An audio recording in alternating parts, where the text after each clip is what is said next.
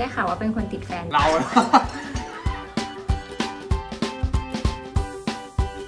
แนะนำตัวค่ะ เป็นใครรับบทอะไร สวัสดีครับ หมากปรินครับ รับบทเป็นเทียรวัตร นวนาวากุลนะครับผมเป็นสถาปนิกครับเข้าวงการมาแล้วกี่ปีครับผม10กว่าปีครับ เป็นคนไม่ชอบให้ใครชมว่าหล่อทำไม อยากให้ชมอย่างอื่นมากกว่า อยากให้ดูที่ฝีมือมากกว่าครับ ขอเคล็ดลับหน้าใส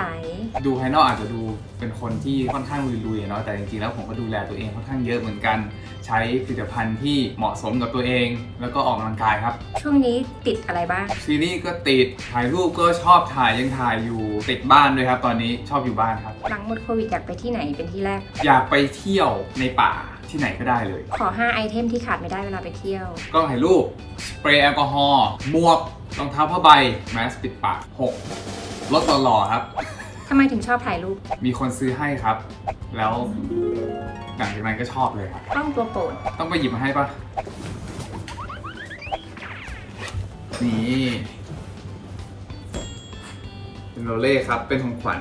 จากน้ำคิม จากน้ำคิมครับ หลังออนแอร์ตอนแรกคิมเบอรรี่พูดอะไรบ้างเขาก็บอกว่าละครสนุกดี ชม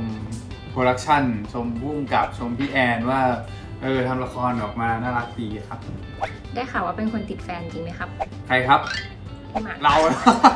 เป็นคนติดแฟนจริงไหม ก็ติดนะ บางทีช่วงนี้อยู่บ้านมีเมนูโปรดอะไรคโอ้รับโหไม่มีเลยครับ เอาจริงๆ คือแบบชอบสั่งอะไรหลากหลายมากยำนู่นยำนี่ก๋วยเตี๋ยวนู่นก๋วยเตี๋ยวนี่อาหารเหนือแล้วก็มีอะไรเงี้ยสั่งไปเรื่อยเลยครับถ้าให้แฮชแท็กชีวิตช่วงนี้อยากใช้แฮชแท็กอะไรครับแฮชแท็กเก็บตัวได้ปะศิลปินคนโปรดใครครับผมศิลปินนี้หมายถึงว่าเป็นนักแสดงหรือว่าเป็นนักร้องหรือว่าเป็นอะไรได้หมดขอตอบว่าแอนทองแล้วกัน เพราะว่าช่วงนี้เขาทำผลงานของเขาดีมากๆเลยครับ ละครสนุกมากเลยครับ ไม่รู้ว่าใครมาเล่น แล้วถ้าเป็นนักร้องล่ะครับ ชอบหลายคนเลยอะ ชอบพี่บอยโกศิยพงษ์นะครับ ถ้านึกถึงคิมเบอรรี่นึกถึงเพลงอะไร ก็คิดออกตั้งนานแล้วแหละฉันดีใจที่มีเธอ คำบอกรักที่ไม่มีคำว่ารักจะพูดว่าอะไร ผมว่ามันเป็นคำถามมากกว่าที่แบบเราเป็นห่วงอะไรเงี้ย กินอะไรหรือยัง จะนอนหรือยัง ผมว่าอันเนี้ยพวกเนี้ยมันก็คือแสดงความรู้สึกว่าเราห่วงใยแล้วก็รักเขา มีเคล็ดลับในการดูแลความรักยังไงบ้างครับ เสมอต้นเสมอปลาย เป็นตัวเองให้มากที่สุด เป็นเพื่อน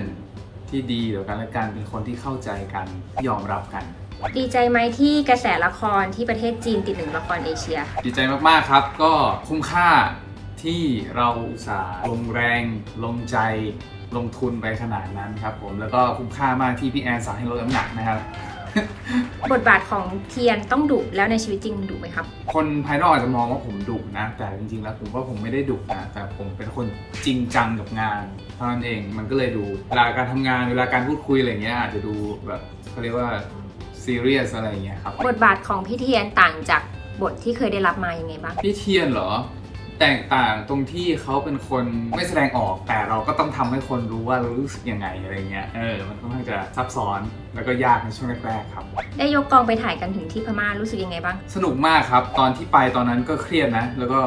คิดว่าต้องเหนื่อยแน่ๆเลยอะไรเงี้ย แต่พอไปถึงแล้วถ่ายเสร็จหมดวันอะไรเงี้ยเรารู้สึกว่าทีมเวิร์กดีมากๆอะทุกคนช่วยกันทำให้งานออกมา เสร็จให้ทันให้ตรงเวลาแล้วก็ทำให้มัน ดีที่สุดครับ อยากได้ยินพี่เทียนพูดภาษาพม่าสักประโยคหนึ่งได้ไหมครับ มิงกะลาบา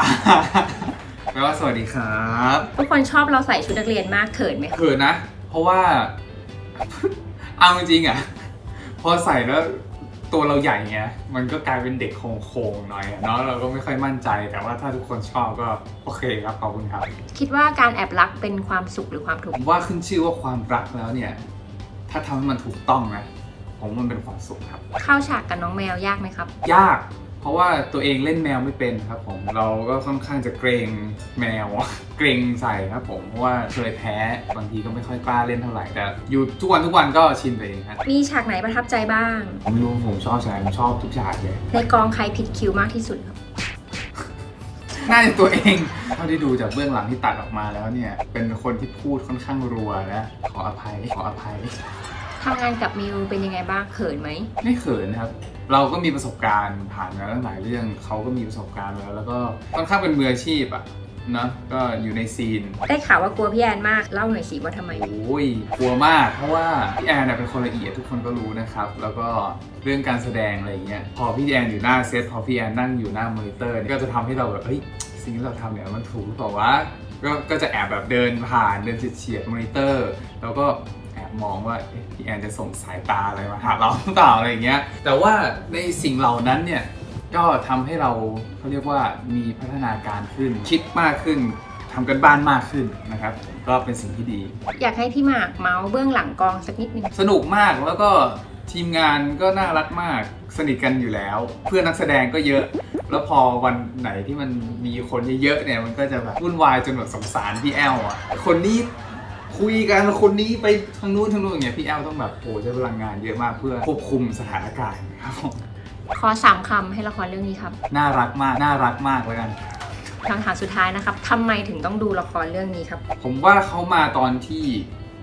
จังหวะที่ดีทำให้เอ่อดูแล้วรู้สึกผ่อนคลาย รู้สึกว่ามีรอยยิ้ม รู้สึกว่าตัวละครมันน่ารัก มันสนุกด้วยแหละ ทุกคนตั้งใจทำให้มันออกมาดีครับ จะหยุดคำสั่งของหัวใจ